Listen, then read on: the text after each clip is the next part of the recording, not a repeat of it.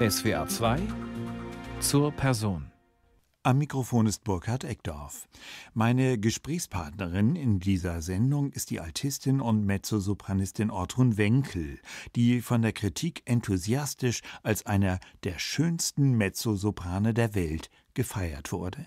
Mit ihrer Stimme, ihre vom Wort geprägten Interpretationen hat sie sich gleichermaßen als Konzert- und Opernsängerin einen Namen gemacht. Oper, Oratorium und Lied und ein Repertoire, das von Claudio Monteverdi bis Aribert Reimann reichte, ist in einer umfangreichen Diskografie dokumentiert.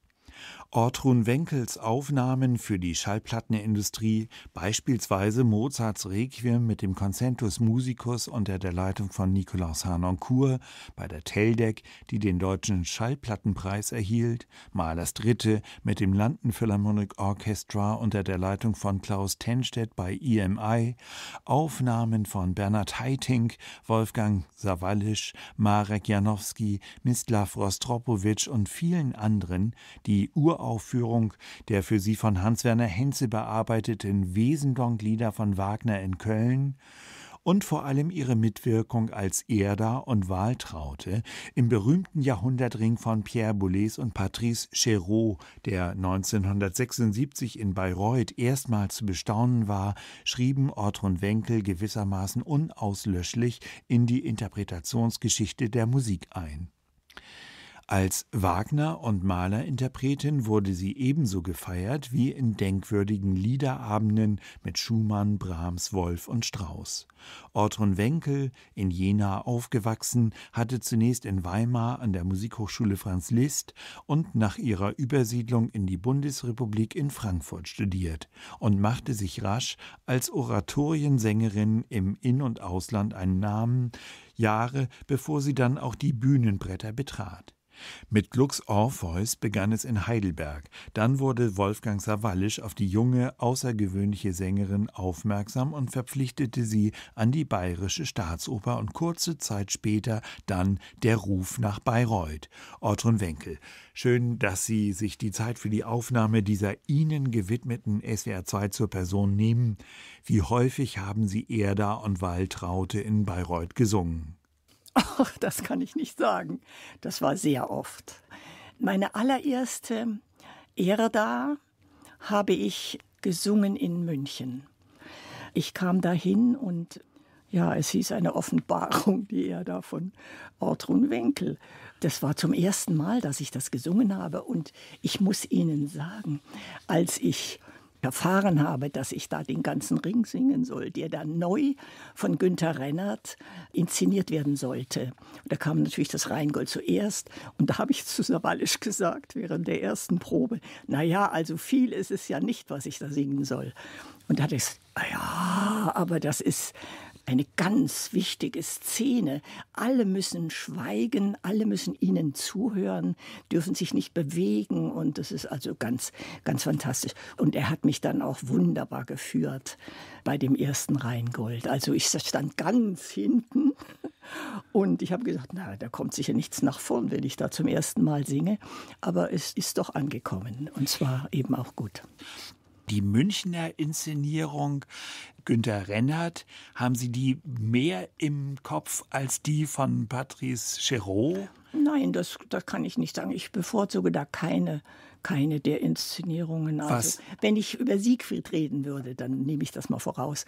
Da ist natürlich der Bayreuthring von Chéreau durch dieses Rollen, der er da auf der Bühne während des äh, Singens vom Wotan und ich stehe dann kurz auf oder kniee mich hin und, und fange an, zu singen. Das kann man übrigens alles sehen im Internet oder auf DVD. Ja, das den gesamten ja, Ring. Also ja, das, das, ist sehr eindrucksvoll und ja. immer noch aktuell. Und es ist auch für mich etwas ganz Besonderes gewesen, dass also ich in diesem Falle überhaupt als Opernsängerin mich so bewegen durfte. Ja, im Konzert steht man ja ganz, ganz ruhig da und da kommen nur mal so ein paar Körperbewegungen ins Spiel.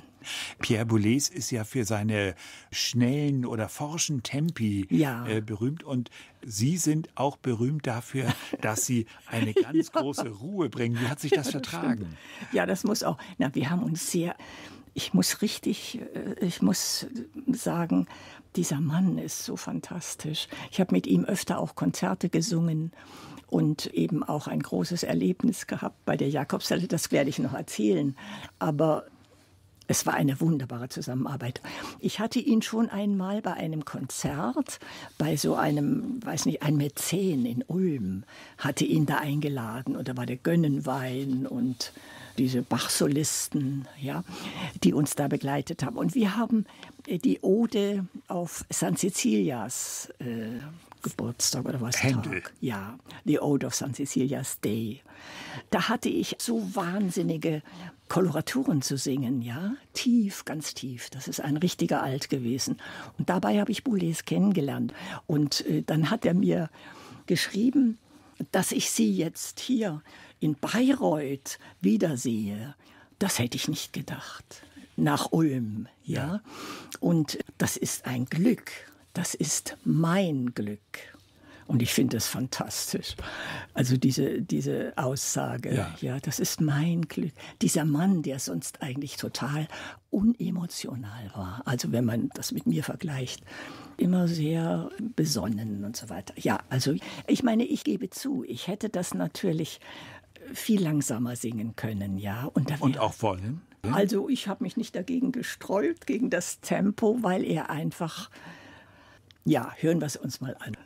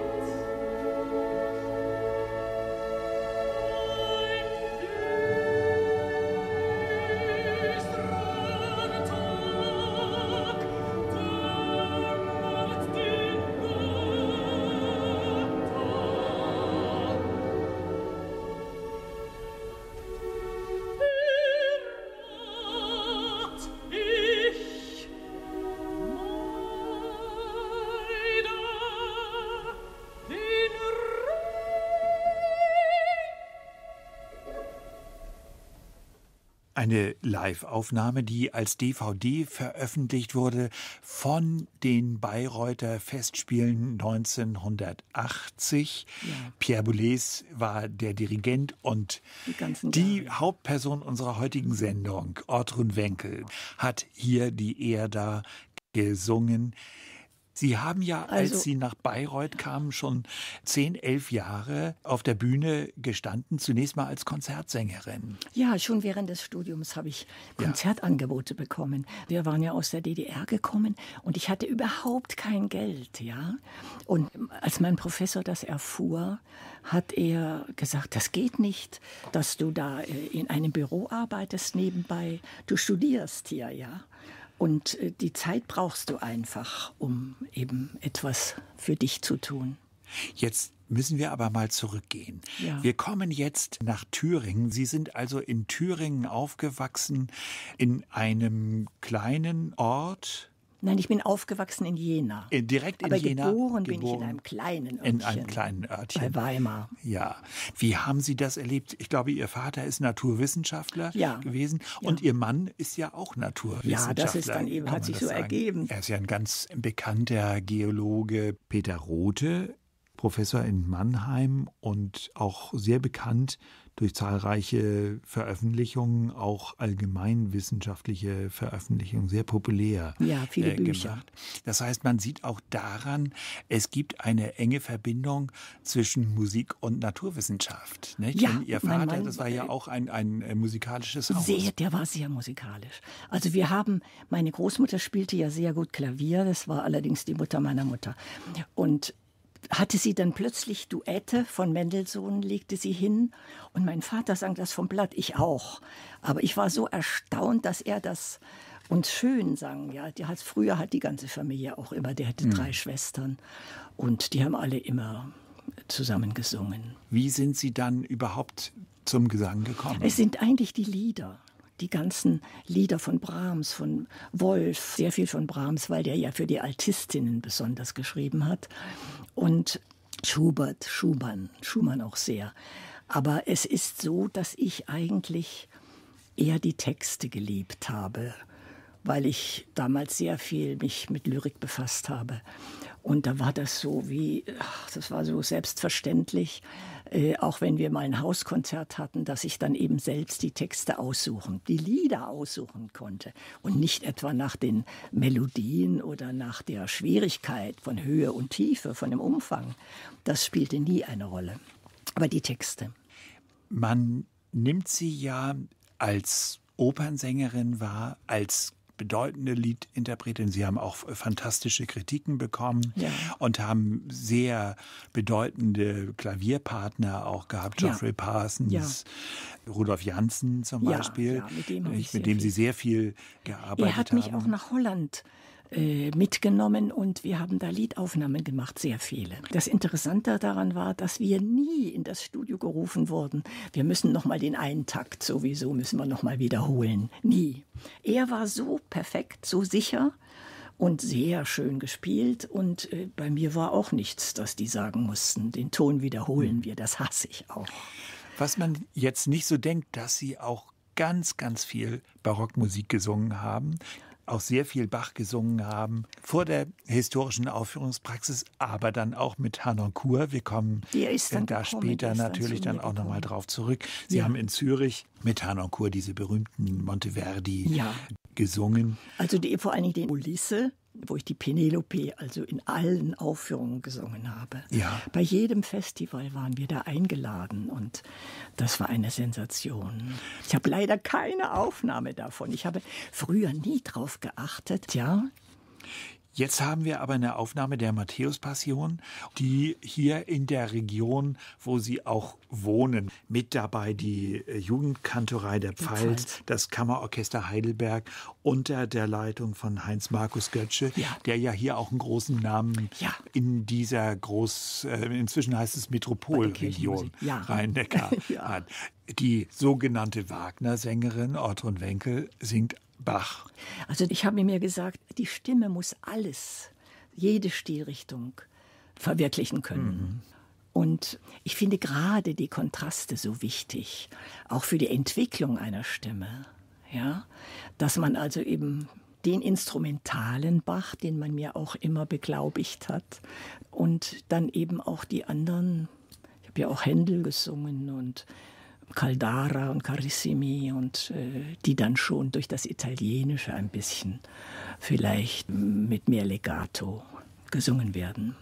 Übrigens der Konzertmeister dieses Heidelberger Kammerorchesters, wie sich das da nennt, der später dann eben wunderbare Stationen auch erlebt hat. Also war auch Konzertmeister lange Jahre bei den Philharmonikern. In Berlin. In Berlin, ja. Rainer Kosmau. Rainer Kosmau, ja.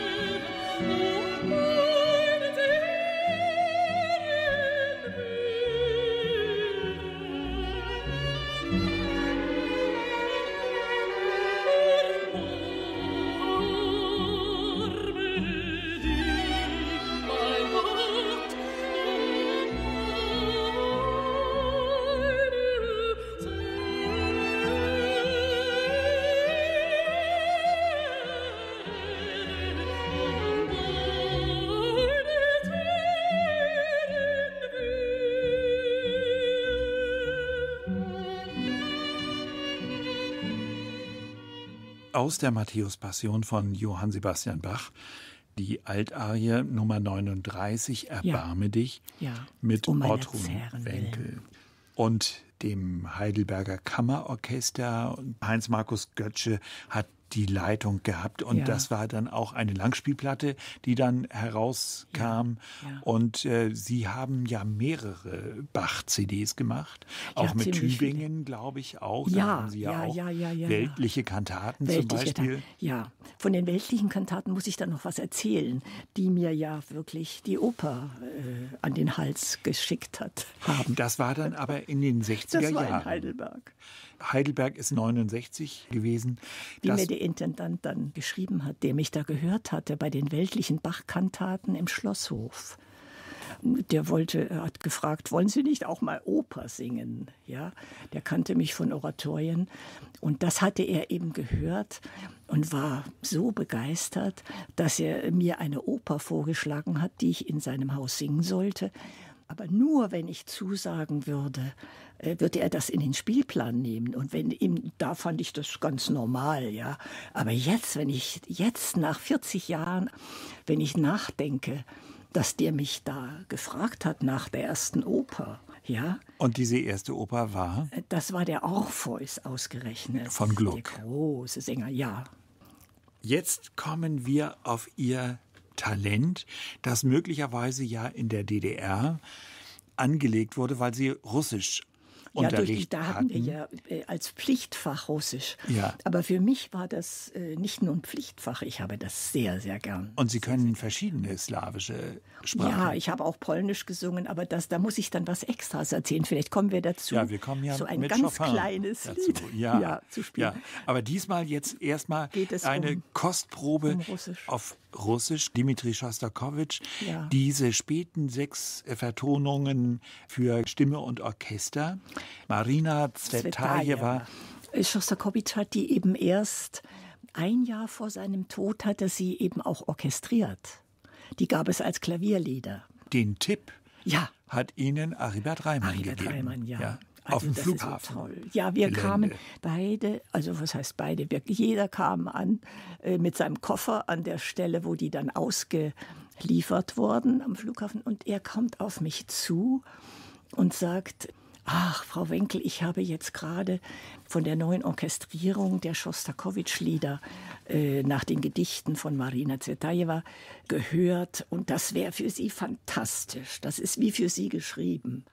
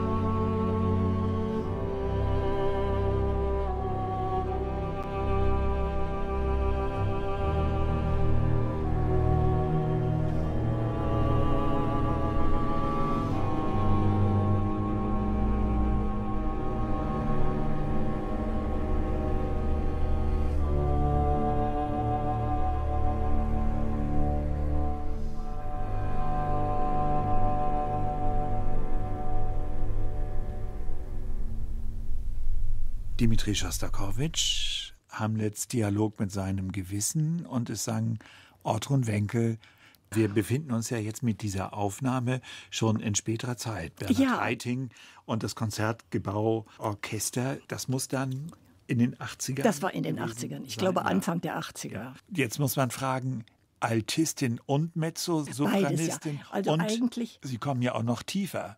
Ja, ich, das brauche ich alles gar nicht. Ich meine, ich habe natürlich die Indigea auch gesungen. Das ist ja. Aus Daphne? Ja, aus die Daphne. Mutter von die, Daphne? Ja. Da konnte ich auch da noch tiefer, ja. Und habe ich auch in München gesungen. Ja, in München. Lucia Pop war die. Und die Aufnahme mit Heiting. Bernhard Heiting, mit dem haben Sie ja häufiger zusammengearbeitet. Wie war das?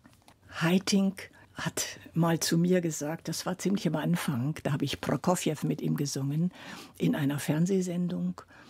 Singen Sie nur, ich begleite Sie. Und das war für mich wunderbar.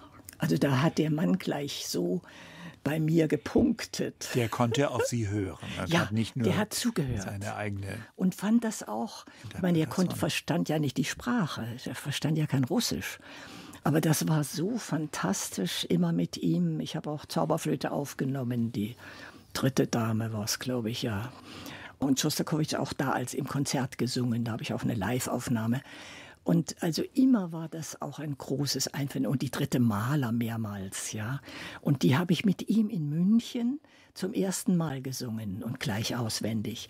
Also wenn ich mit solchen Menschen zusammenarbeite zum ersten Mal und ich habe das volle Vertrauen, dann kann ich alles.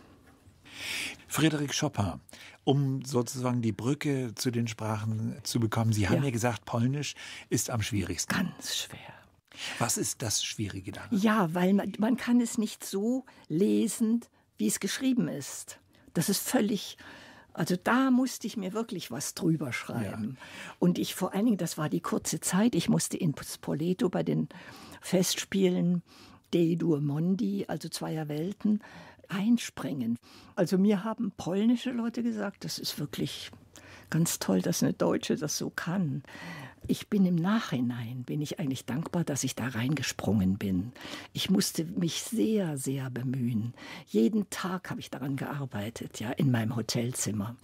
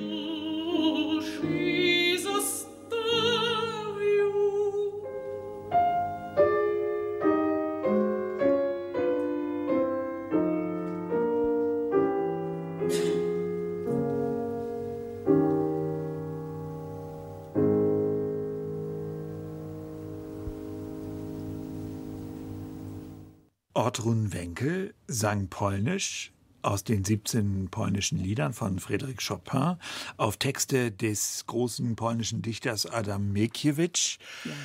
Und äh, wir hörten die Nummer 6, Mir aus den Augen. Und wir bleiben noch ein bisschen im slawischen Bereich. Ja. Sie haben am Bolschoi-Theater oder Marinsky-Theater auch. auch. gesungen? Oder? Aber das waren dann Gastspiele. Ja.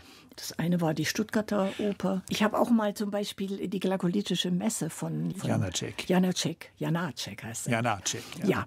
gesungen. Und zwar, das war mit Kubelik. Raphael Kubelik, der Große. Borgi, Semle, ja. Griechi. Also ich liebe diese Sprachen einfach. Und weiß es immer noch, schon lange her. Ja. Schon sehr ja. lange.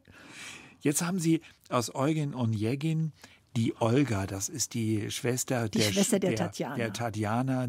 Und zwar in einer bemerkenswerten Besetzung. Das Orchester der Pariser Oper wird von Mstislav Rostropowitsch geleitet und seine Frau, Frau, hat ja da auch mitgesungen. Galina Wischneska. Wischneska, ja. ja die schöne Frau. Hat die Tatjana gesungen. gesungen da, ja. ja.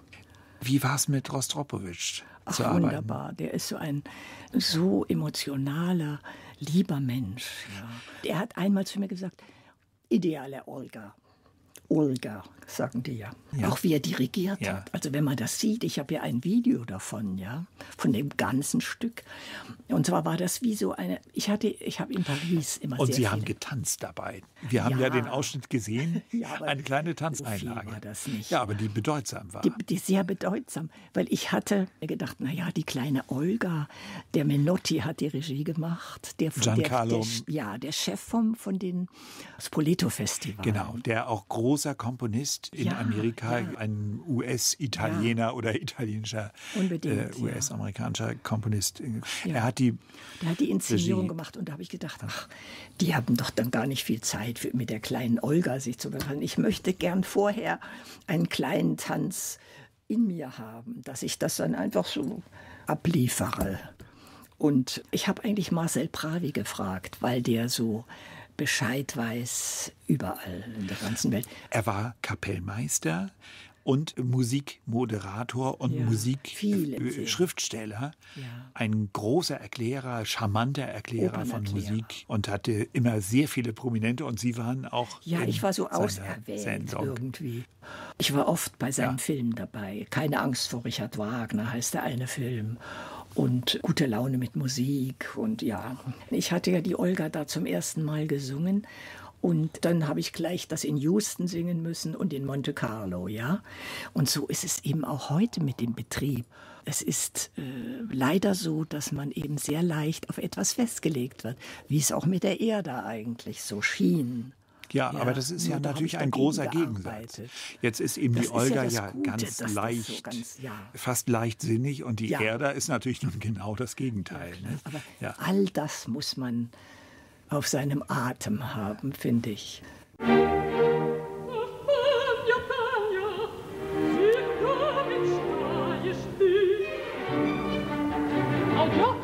Yeah. Thank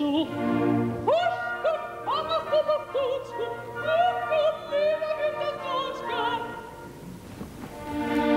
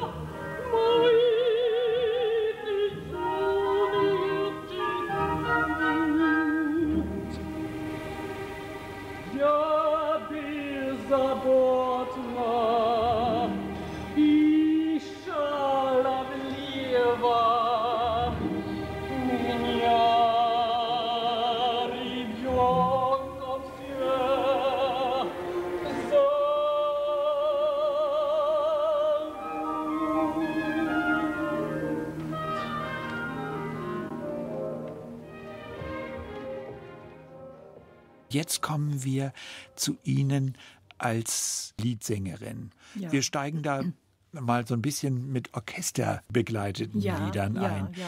Wir gehen sozusagen auf Anfang des vergangenen Jahrhunderts. Wir haben zunächst mal Franz Schreker.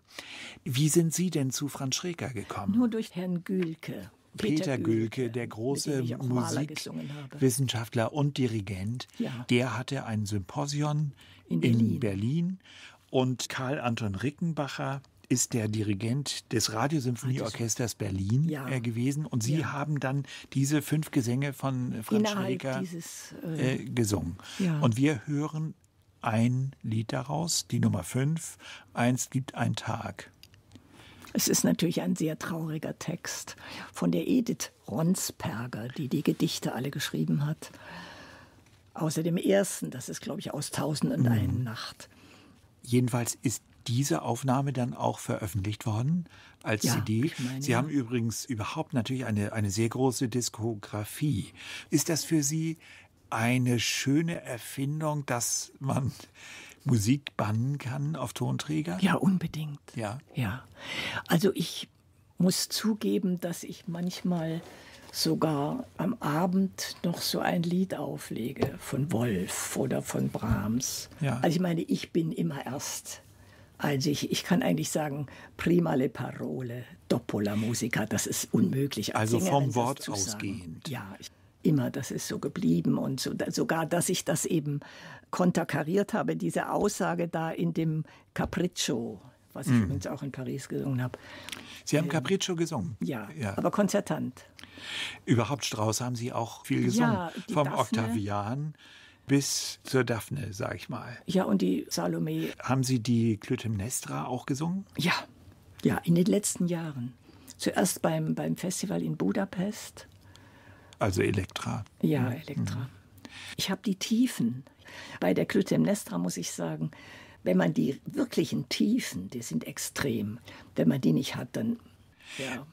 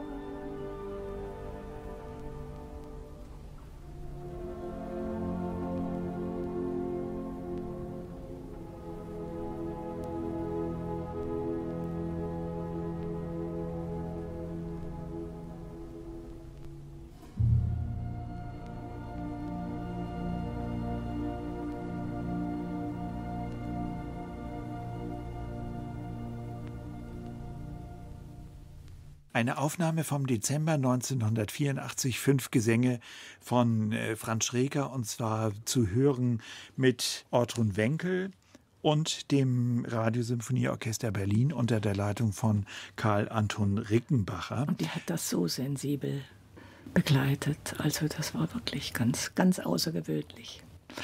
Von Franz Schreker zu Alexander von Zemlinski ist es nicht weit. Nein. Das ist ungefähr dieselbe Generation, ja. kann man sagen. Also Zemlinski, der spätere Schwager von Arnold Schönberg, Schön. früher sein Lehrer gewesen, der im amerikanischen Exil verstorben ist und ja. seine Tochter haben Sie in Buenos Aires Ja, ich hatte Konzerte in Buenos Aires in dem, in dem Teatro Colón. Also ich meine, es waren die Kindertotenlieder und noch etwas. Und ich hatte erfahren von der Wiener ähm, Universal Universaledition. Da hat, ja. kannte ich einen Menschen, der, der mir immer sehr geholfen hat, wenn ich was wissen wollte. Und der hat gesagt, da wohnt die Tochter oder eine Tochter. Und die habe ich dann an so einem freien Tag aufgesucht und habe ihr das vorgesungen. Und sie hat Klavier gespielt dazu. Und da hat sie gesagt, ja, so hätte das mein Vater gewollt. Und es war vor der Schallplatte. Wir haben ja eine richtige Schallplatte gemacht. Sie, und zwar haben Sie zusammen mit dem damaligen SWF Sinfonieorchester Baden-Baden unter ja. der Leitung von Václav, Neumann, Neumann, dem großen tschechischen Mensch. Dirigenten, ja. diese Aufnahme gemacht. Ja. Und zwar, ich kann Ihnen sagen, wann? Am 28. Juni 1984 im ja. Hans-Rosbaud-Studio in Baden-Baden. Ach, ach, toll, das da haben Sie, das recherchiert. Ja. ja. Und wir haben ein ganz kurzes Lied ausgesucht, den afrikanischen Tanz, ja. der sehr modern daher Ja, finde ich auch. Ähm, und kurz. Und so. zeigt auch einfach eine noch etwas andere Seite von Ja, Ihnen. das stimmt.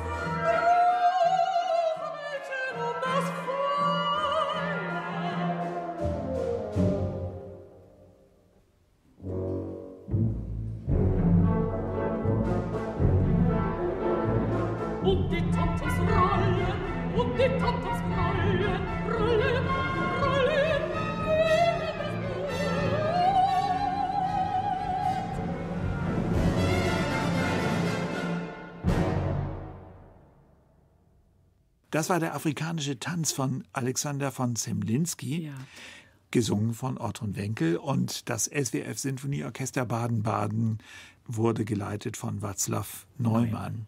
Und damit sind wir auch schon bei Arnold Schönberg. Die Jakobsleiter haben Sie mit Pierre Boulez ja mehrmals auch Konzertant in Paris ja, ja, gemacht. Ein schwieriges Stück. Ja, ich kann mich erinnern, wie ich das studiert habe. Da wohnten wir in Sandhausen. Kann ich das erzählen? Ja, Sandhausen bei Heidelberg. Ja, das war unsere erste Station nach der Heirat. Und da habe ich meistens im Wald gelernt. Da habe ich einfach nur die Intervalle gelesen, alles gelesen und auch gesungen. Gesungen, geübt ja, sozusagen. Ja. Und eines Tages kam da eine große Gruppe Rentner ja, mehrmals bin ich denen begegnet und immer irgendwie lernend. Ja, ich kann gut draußen, wenn ich laufe. Das ist so toll. Da ist der Kreislauf angeregt. Jedenfalls haben die, da hat der eine dann gesagt, ja, wo habe sie denn? Da war ich dann ohne Noten. Wo habe sie denn Heizbuch? Und da habe ich gesagt, jetzt kann ich es auswendig. Und das, das war so schön. nett. Ja. ja. Dann haben Sie diese Aufnahme gemacht und Sie wussten gar nicht, dass das Band schon läuft. Doch, dass es läuft, ja, aber ich habe, es ist ja immer vorher erst eine Probe. Also ich hatte ja mit Pierre Boulez mit dem BBC Symphony Orchestra. Ja, ja, ja. Ich kam aus Zürich, hatte da am Abend vorher, das war sehr spät geworden, die Penelope zu singen und bin dann dahin geflogen und habe dann noch den Priester gebeten. Wir haben in einer Kirche aufgenommen. Mhm. Und habe den noch gebeten, ob ich mich da noch einen Moment hinlegen könne und so weiter. Das ging auch alles. Und dann fing es an. Und ja, und wir haben es durchgemacht. Das Orchester hat geklopft. Und Boulez sagte, Sie können wieder zurück nach Zürich. Meine Sekretärin sucht Ihnen einen Flug. Das war nach einem Mal. Es ist ja nun nicht einfach. Wir haben Aber wenn man so mit den Intervallen gekonnt hat, gelesen hat, ja,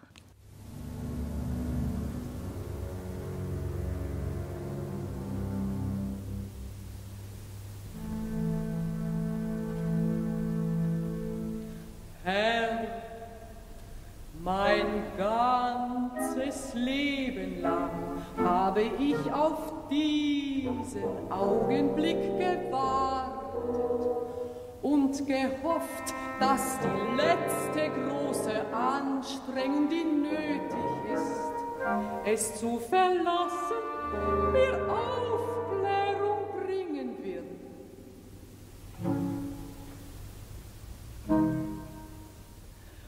Und jetzt sehe ich nicht viel mehr, als dass mir dieser Augenblick nicht unbekannt ist, dass ich ihn schon öfters durchgemacht haben muss. Oder doch mehr, dass es mich schon durch Jahrtausende so treibt, dass ich durch alle Welten gehetzt bin, dass ich tausend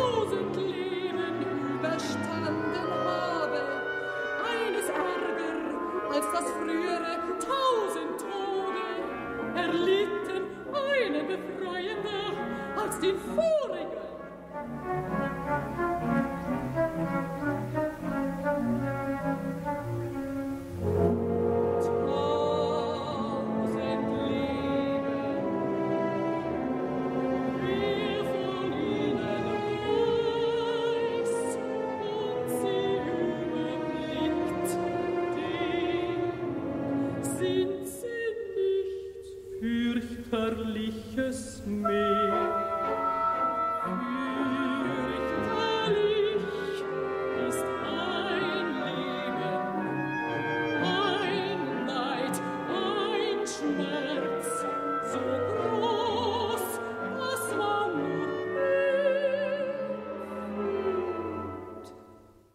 Ausschnitt aus Die Jakobsleiter von Arnold Schönberg mit Ortrun Wenkel, dem BBC Symphony Orchestra unter der Leitung von Pierre Boulez. Und jetzt kommen wir zu dem großen Gebiet, das Sie neben den vielen Auftritten an den großen Opernhäusern, auf den großen Bühnen von Paris bis Mailänder Scala haben in Berlin gesungen, in Hamburg, in München natürlich. Ja, ja, Sawallisch ja. hat In sie Rom. damals geholt. Ja. Und sie haben in den Sawallisch USA wollte mich sofort ins Ensemble wollte haben. sie, aber sie wollten das damals nicht, weil sie als Konzertsängerin Da auch hatte ich schon so viele viel Angebote, ja. hatten. ja. Aber ich habe es dann doch gemacht, eine Zeit lang.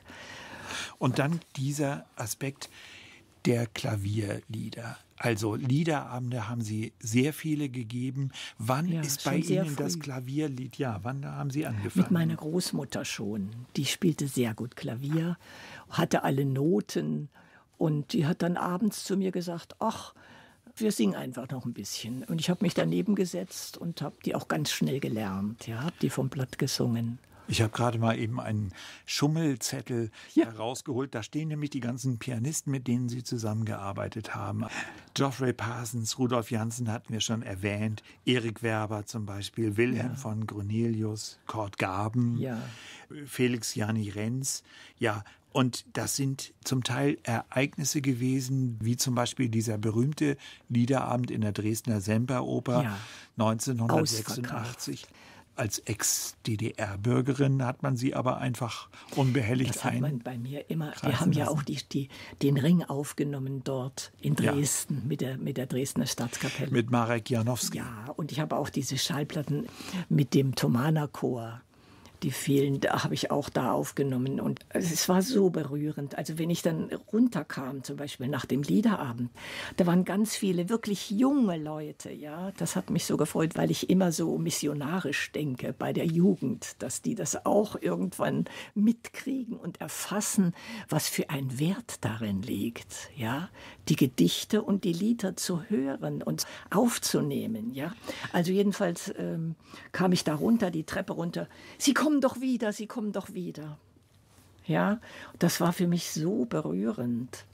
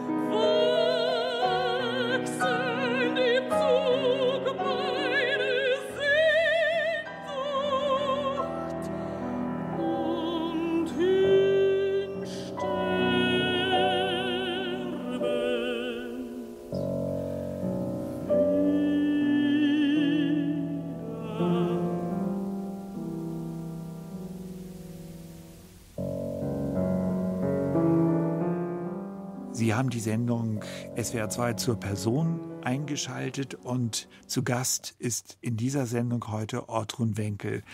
Das Lied, haben Sie gesagt, ist von Anfang an schon Ihr Begleiter gewesen, gewesen, aus dem Elternhaus ja. in Thüringen, schon ja. in Jena, wo Sie aufgewachsen sind. Ja.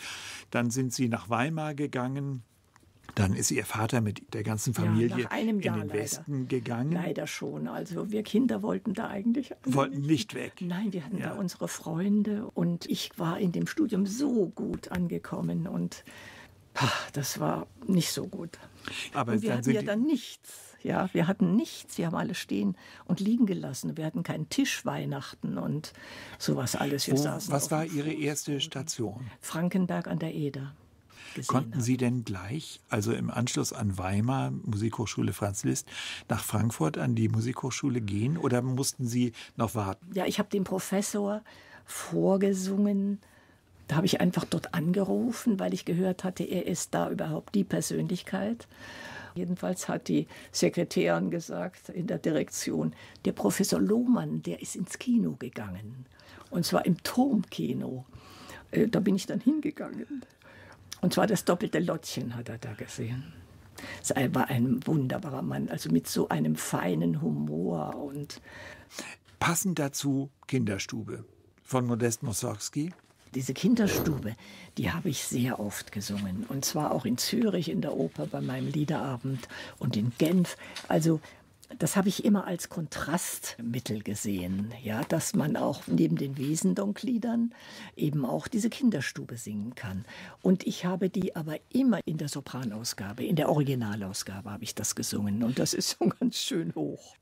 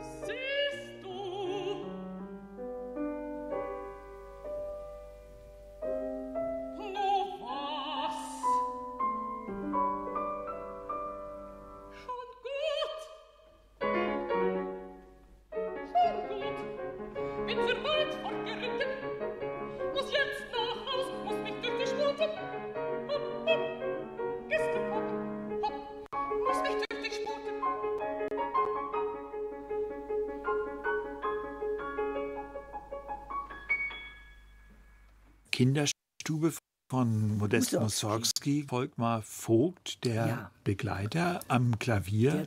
das ist eben gestorben. aus dem Liederabend im Markgräflichen Opernhaus ja, gut, in Bayreuth. 30. Juli 1981. Ja. Ich habe so ein bisschen das Gefühl, Sie lieben es nicht, sozusagen eine Studioschnipselarbeit zu machen. Nein, nie. Wenn, wenn, dann muss es möglichst ganz ohne. Ich habe also meine ganzen Aufnahmen, auch Evangelimann und was ich aufgenommen habe als Schallplatte, Dvorak, äh, immer ohne Schnitte gemacht. Und auch die dritte Maler, das war ja wichtig, dass da auch das ganze Orchester geklopft hat. Und Tenstadt hat gesagt, wir haben's. Ja, es kommt sozusagen auf den Moment an. Ja. Und diese Verbesserungen, das ist alles, man muss das auch so können. Und man kommt auch nur so weit mit diesem Beruf, wenn man das kann. Wenn man immer in einer bestimmten guten Qualität das macht.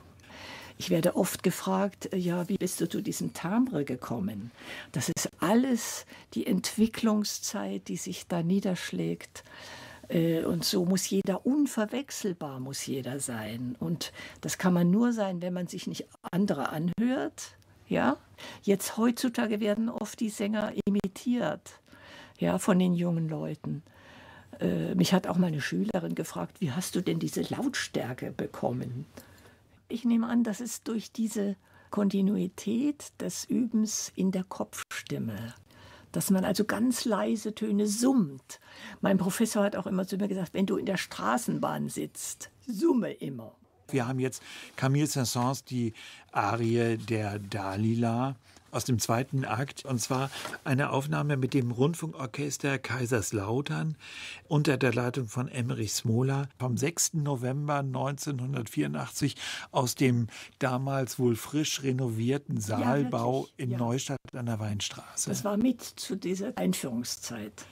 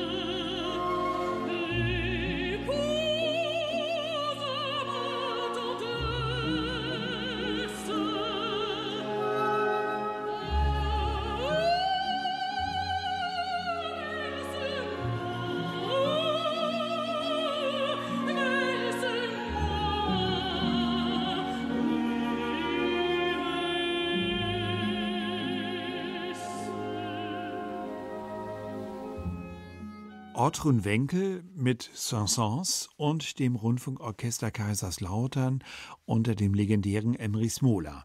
Von der Spätromantik nun zum Frühbarock, Claudio Monteverdi. Noch vor dem Boom der historischen Aufführungspraxis haben Sie sich mit diesem Komponisten beschäftigt. Etwas später erst haben Sie mit den großen Figuren dieser historischen Aufführungspraxis zusammengearbeitet. Sie haben Aufnahmen und Aufführungen mit Nikolaus Harnoncourt und dem Concentus Musicus gemacht. Und Sie haben auch mit John Elliott Gardner zusammengearbeitet. Und jetzt das Lamento der Ariana in einer Fassung von Kurt Redel. Der das quasi für mich gemacht hat. Mit dem Münchner Kammerorchester. Das war meine erste Schallplatte und das haben wir abends, ganz spät abends, immer in einer kleinen Kirche aufgenommen. Aber Harnoncourt auf der anderen Seite, der ja das Buch auch über die Klangrede geschrieben hat, faszinierend, die Idee und das auch dieses ganze Tun um den Monteverdi, das war wirklich fantastisch. Und äh, da war es so, da brauchte man nur den Mund aufzumachen, ja, weil das so professionell war. Das war ja. Die Zürcher Monteverdi-Aufführungen ja. durch Hanonkur sind ja auch legendär. Natürlich. War denn diese Begegnung mit diesen Instrumenten, die es ja in den normalen Orchestern nicht gab, nicht, also auch nicht Bläser in, vor allem. In, nicht, also vom Zinken bis zu den ja. lauten Histen, war das für Sie ein Erlebnis? Ja, ganz neues Klangerlebnis, das stimmt schon. Ja, und es passte da auch so hin. Es war so alles so und auch die Inszenierung von Ponell. Ja, ja großer äh, Bühnenbildner. Ja. Ponell. Und auch die Kostüme von Petalmen, die passten dann auch da so rein. Als ich da anfing, diesen Monteverdi, ich glaube, das war 77. Ich habe da auch dann den Ring in Genf gesungen, zu derselben Zeit. Das war alles sehr eng, sehr, sehr eng. Gut, ich muss ganz ehrlich sagen, ich meine diese Kritik nicht negativ. Und bei dem Redel kommt ja. mir schon einiges. Das ist alles doch eher altmodisch. Redel war ein berühmter Flötist. Der war, glaube ich, auch bei den Münchner Philharmonikern und hat das Festival des Parcs geleitet.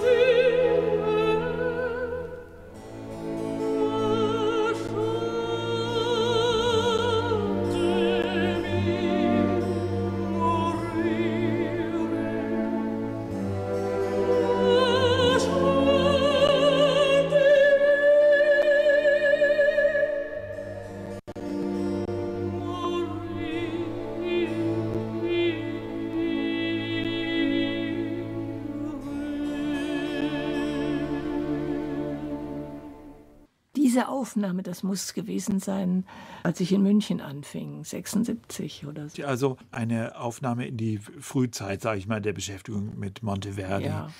Hier haben wir eben eine Klage gehört und jetzt geht es mit Klagen weiter. Kindertotenlieder. Oh ja. Gustav Mahler überhaupt ein ganz wichtiger Komponist für Sie und Ja. Sie wurden auch vollkommen zu Recht als Maler, Interpretin gerühmt Von Anfang an, ja. von Anfang an. Wollen wir die Nummer zwei, nun sehe ich wohl, warum so dunkle Flammen von Friedrich Rückert ist der Text. Ja. Wollen wir das hören? ja. Das ist eine Aufnahme mit Armin Jordan und dem Orchestre Chambre de Lausanne. Ja. Ein Mitschnitt des Schweizer Radios. Ja.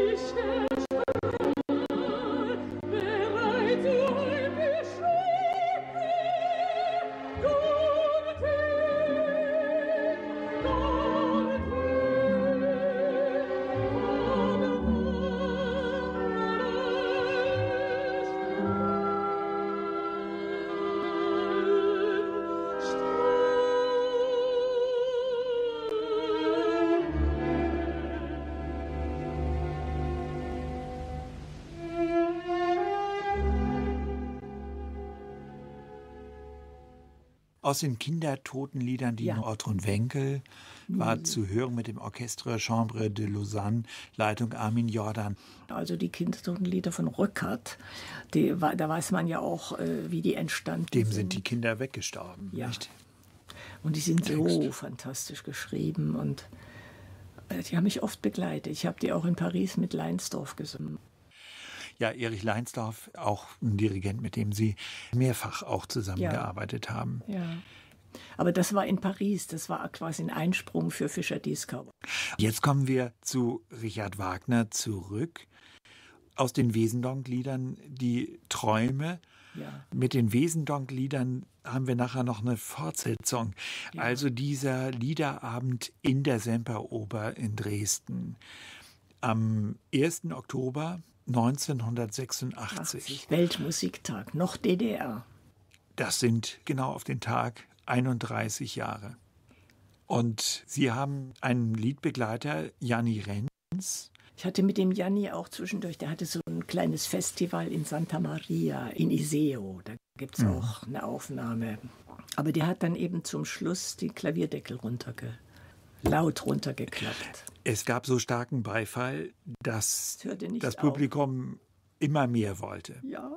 Also das, das war schon die dritte Zugabe. Und dann kamen die Träume und dann kam eben noch eins. Ja, die haben einfach keine Ruhe gelassen und es war so getrampelt und gerochen und alles. Dann habe ich noch am Schluss, es war, als hätte Himmel die, die Erde Von, geküsst. von Schumann, Eichendorff. Ja, Eichendorff. Und äh, das ist ein Pianolied. Und, und die Semperoper hat auch eine Akustik. Das ist also fabelhaft. Ja, da kann man jeden kleinen Ton, den man gut singt, kann man auch hören. Und äh, da ist ja dann auch noch später, wie ich dort ähm, Jennifer gesungen habe, also nicht die Jennifer, sondern die Buria, da ist äh, eine Sängerin gekommen zu mir, die da mitgemacht hat bei dem Janacek. Der Liederabend und wie sie dann noch die Mondnacht gesungen haben, nach diesem langen, schweren Lied, das Pianolied, das war einfach. Das ist auch schön gewesen für mich. Also das war so Also man hat sie geliebt. dieser Liederabend, der war für die Leute wahnsinnig und für mich auch. Für mich auch, wie ich dann gesungen habe als erste Zugabe aus der Heimat hinter den Blitzen rot, da kommen die Wolken her. Aber Vater und Mutter sind lange tot. Es kennt mich dort keiner mehr. Wie bald, ach wie bald kommt die stille Zeit, da ruhe ich auch. Und ich hätte fast geweint. Da muss man sich sehr beherrschen. Und es sind ja eigentlich diese Dresdner, die kannten mich natürlich, viele, sonst wäre das nicht voll gewesen. Viele von dem Ring, den wir dort konzertant aufgeführt haben, das war auch eine Sensation. Wer hatte da dirigiert? Janowski, Janowski. Das war vor den Platten.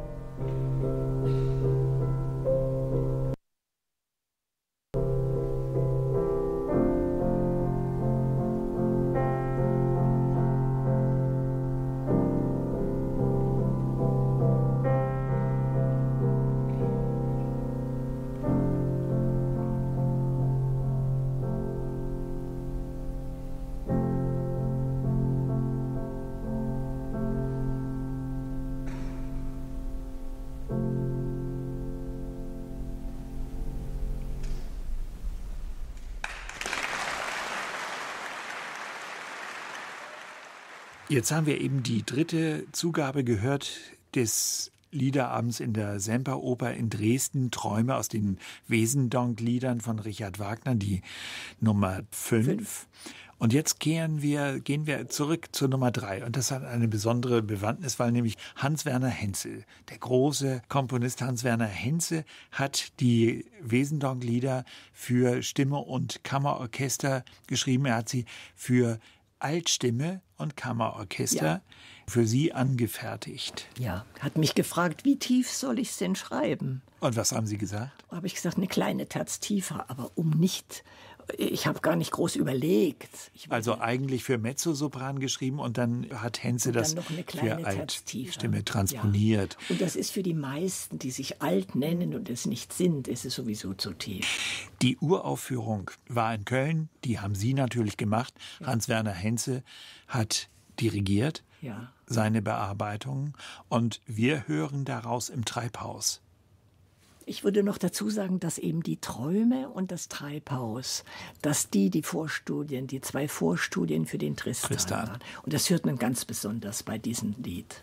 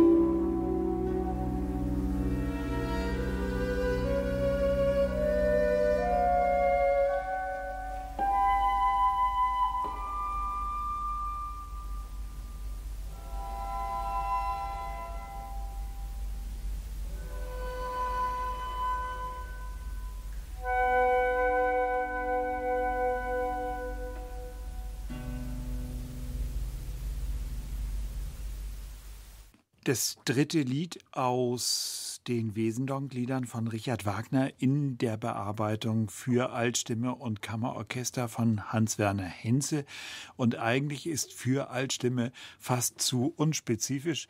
Es ist nämlich genau für Ottrun Wenkel geschrieben worden von Hans-Werner Henze, diese Bearbeitung. Jetzt Klaus Tenstedt. Ja. Der Dirigent, der auch mal beim NDR Sinfonieorchester Chefdirigent war und der sehr viel in London gearbeitet ja. hat. Wir ja. hören sie in einer Aufnahme mit dem London Philharmonic Orchestra und zwar in der dritten Sinfonie von Gustav Mahler dieses wirklich wie ein Weckruf oder wie ein Mahnruf daherkommende ja. O Mensch, gib acht nach Friedrich Nietzsche. Mit Sie dem Zarathustra. Äh, was ich jetzt dazu sagen wollte, da war der Agent von Herrn Tenstedt, war auch da bei dieser Aufnahme, ja, und hat mir seine Karte gegeben und hat gesagt, wenn Sie mal irgendeine Sorge haben oder wenn Sie, ja, wenn Sie, ja, Hilfe brauchen, sofort können Sie mich kontaktieren. Das habe ich nie gemacht, leider. Mhm. Also da wäre das alles noch mehr explodiert, weil er gesagt hat, Sie sind einfach genau die richtige Stimme für diese dritte Symphonie, für den Maler. Und da hatte ich ja schon Lied von der Erde gesungen, das wussten die ja nicht. Hatte ich auch keine Aufnahme mit. Was getan. Haben Sie denn eine eigene Agentur gehabt? Ja, da waren immer welche, die sich da auch irgendwie angehängt haben. Da kriegte ich von da und von dort kriegte ich eine mhm. Anfrage. Und da war es eben oft so, dass es so dicht aufeinander kam, mhm. dass ich in, in New York in Carnegie Hall gesungen habe. Und zwar eine Oper, eine russische Oper, Ivan Susanin von Glinka, den, den Vanya, das war sehr, sehr schön. Und dann sofort ins Flugzeug und am nächsten Morgen dann Probe für ich glaube, Daphne mit äh, Janowski.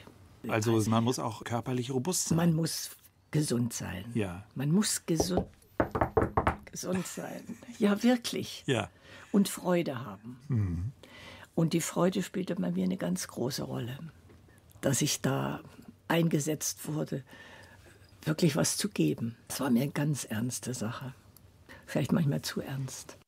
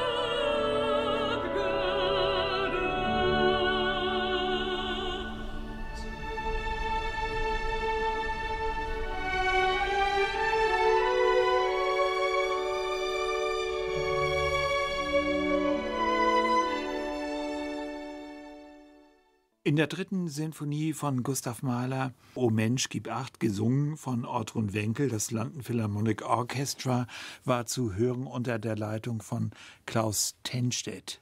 Wir waren in der Royal Festival Hall. Ich hatte da diesen Probenraum oben drin und habe mich wahnsinnig eingesungen, ja. Und die dritte Male, das ist ja nun, das, das kann man ohne sich einzusingen, wenn man fit ist, singen, ja. Jedenfalls war es so, dass er dann in den Probenraum kam und hat gesagt, Sie sind meine Elektra. Nur weil ich die Höhe gezeigt habe, die ich für die Elektra brauche, der wollte das aufnehmen mit Schallplatte. Und das wollten Sie nicht? Nein, ich habe sofort gesagt, nein, auf gar keinen Fall. Ich sage, das müsste man hintereinander singen können. Dann darf man das ja, aufnehmen. Sie wollen also nicht stückeln, da sind wir wieder bei dem Thema Aufnahme.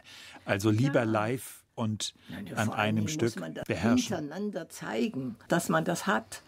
Und äh, habe ich gesagt, es kommt für mich nicht in Frage, höchstens die Clytemnestra. Und hat er gesagt, dazu ist die Stimme viel zu schön. Weil das hatte ich die noch nicht gesungen. Ja. Aber äh, man muss ja nicht immer schön singen. Was noch fehlt, das ist die neue Musik. Da haben Sie ja auch sehr viel gemacht und Sie sind unglaublich neugierig geworden und haben noch bis weit in die erste Dekade ja, ja. des neuen Jahrtausends sich engagiert. Unter anderem 2002 war es, glaube ich, die Schweizer Erstaufführung von Aribert Reimanns Bernarda Albers Haus. Das ist diese Oper nach ja. Federico García Lorca. Ein ganz aufregendes Theaterstück schon ja. und ein hochdramatisches ja, Stück von Albert Reimann. Ein dramatischer Alt, der da gefordert wird, die Hauptrolle. Da ist jeder Ton, muss so sitzen, wie er, wie er da steht. Wir hören jetzt einen Ausschnitt, der übrigens auch im Internet anschaubar ist.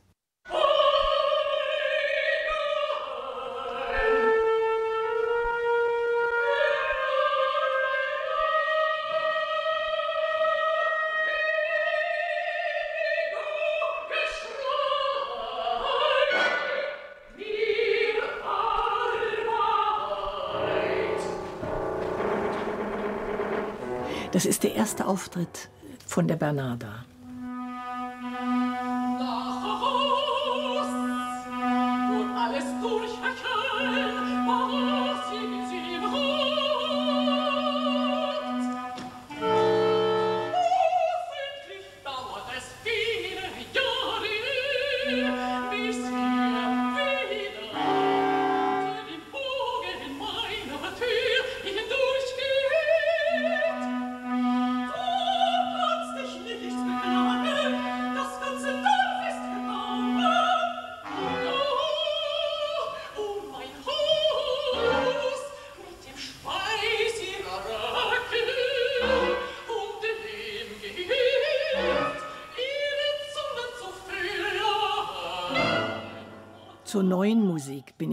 Eigentlich gekommen durch den jungen, ja, der war Student an in der Frankfurt. Hochschule in Frankfurt. Ja. Mhm.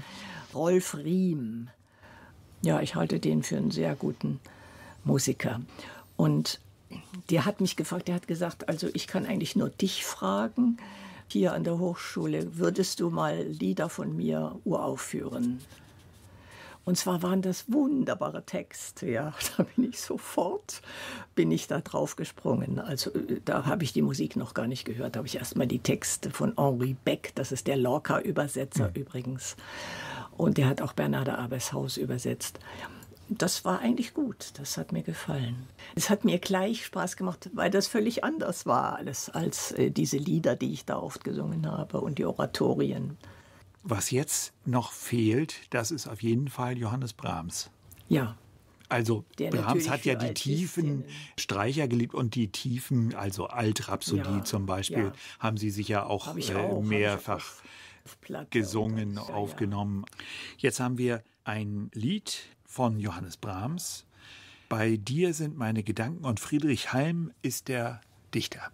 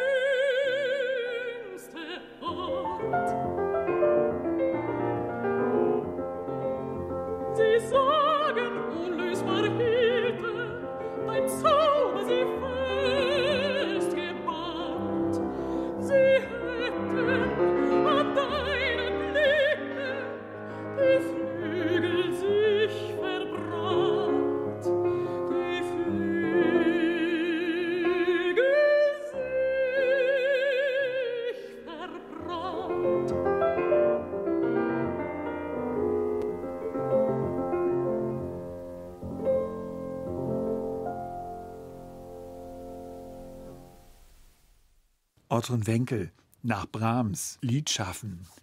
Worüber wir überhaupt nicht gesprochen haben, das ist das Thema Unterricht. Ja. Sie wollten nie Professorin werden für Gesang? Nein, weil ich einfach, erstens mal, ich wollte einfach nicht neben meinem Beruf immer wieder denken müssen, ah, jetzt muss ich da noch und da noch unterrichten und da noch und dass die vielleicht dahin kommen wo ich singe, ja. Da waren in Italien auch immer mal von anderen Sängern die Schüler gekommen. Nein, das würde mich zerreißen. Also ich habe mich viel zu ernsthaft mit meinem Beruf befasst. Aber das Unterrichten habe ich auch gekonnt. Frau Wenkel, Sie sind, das habe ich ja schon gesagt, verheiratet mit einem berühmten Geologen, der auch immer sehr viel in der Natur sich aufhält. Und ich weiß, dass Sie auch sehr gerne die Natur haben und der Natur sehr verbunden sind. Und sie haben gefiederte Freunde, die ihnen ja, die. sehr nahe sind. Ja. ja, das sind die Singvögel. Wir leben eigentlich mit den Vögeln wir füttern auch durch, weil es, es fehlen eigentlich so viele. Es gibt durch die viele starke Düngung und ja, durch genau. so weiter. Ja. Spritzmittel. Äh, ja, das sind, ach, da leide ich, da leide ich richtig. Ja. Und ähm, ich, eines Tages konnte ich das einfach. Also den Buch Sie, Sie, Sie, sprechen mit den oder singen ich, ja, mit den Vögeln. Ja, ja, ich, ich mache diese Melodie. Nein, das ist nicht richtiges Pfeifen, das ist so.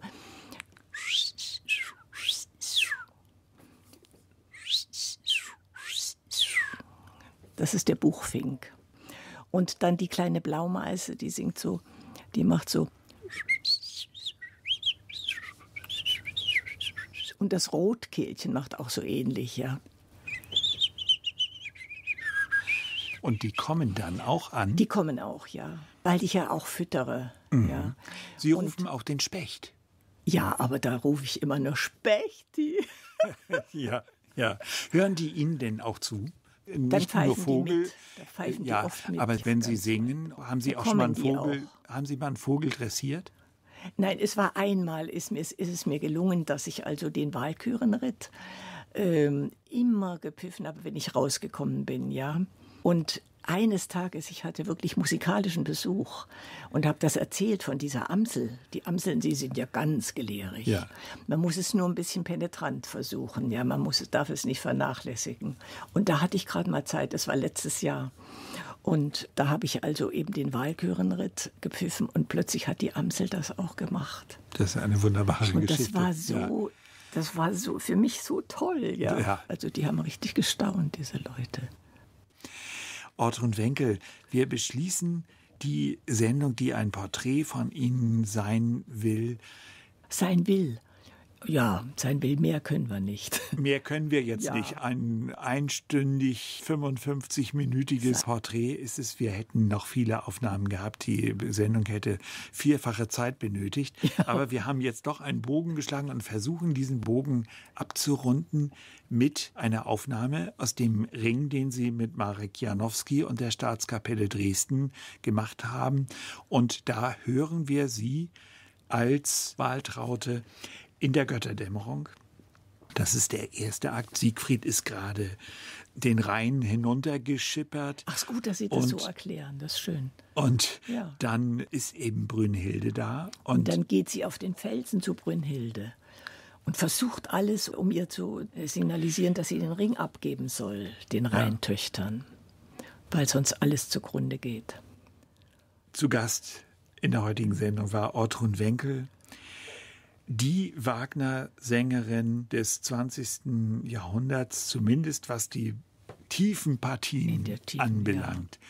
Das auf jeden Fall im Jahrhundertring von Pierre Boulez und Patrice Chéreau standen sie vier Jahre in Bayreuth. Unter Savalisch haben sie es gesungen, unter Janowski. Und wir hören jetzt eben diese Aufnahme zum Abschluss.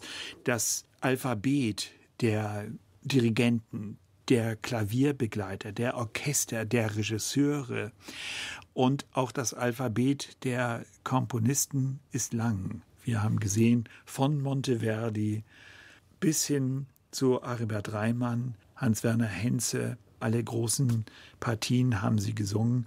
Und ich bedanke mich herzlich, dass Sie diese Aufnahmen mitgebracht haben. Ich bedanke mich auch.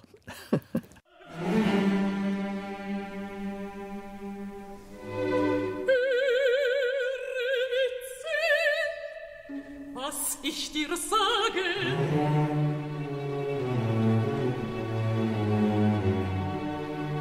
Seite von dir geschieden, zur Schlacht nicht mehr.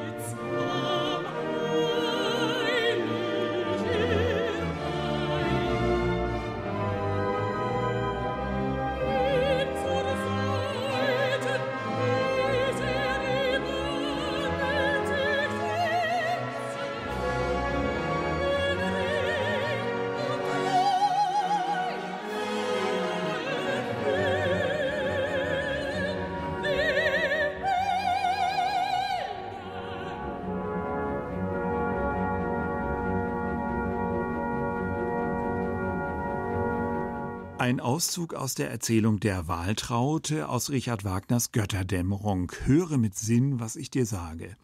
Ortrun Wenkel und die Staatskapelle Dresden unter der Leitung von Marek Janowski waren zu hören. Auch dies leider nur ein Ausschnitt aus dem großen Repertoire dieser großen Altistin und Mezzosopranistin, die zu den bedeutendsten Opern- und Konzertsängerinnen ihrer Stimmlage im 20. Jahrhundert zählt und übrigens bis vor kurzem noch auf den Bühnen stand in Heidelberg und Saarbrücken etwa. Das war die Sendung SWR 2 zur Person, Ortrun Wenkel. Am Mikrofon verabschiedet sich Burkhard Eckdorf und bedankt sich fürs Zuhören. Gleich folgen hier die Nachrichten und dann Literaturneuerscheinungen, das Magazin Lesenswert mit Katharina Borchardt.